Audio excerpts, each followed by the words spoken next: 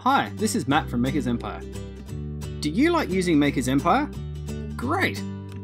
Do you like leveling up and getting tokens? Me too! Do you want to get more rewards? Yes! Me too! Here's how. All you have to do is keep playing Makers Empire. How easy is that? If you use Makers Empire at home and school, you'll progress so much faster. Just keep playing and creating great designs like you do at school, and you'll be a design legend in no time. All you need to do is ask permission to download Makers Empire at home and log in using the same username and account at home and school.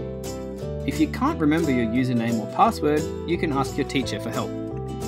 For help downloading Makers Empire, you and your parents or carer can visit www.makersempire.com/home.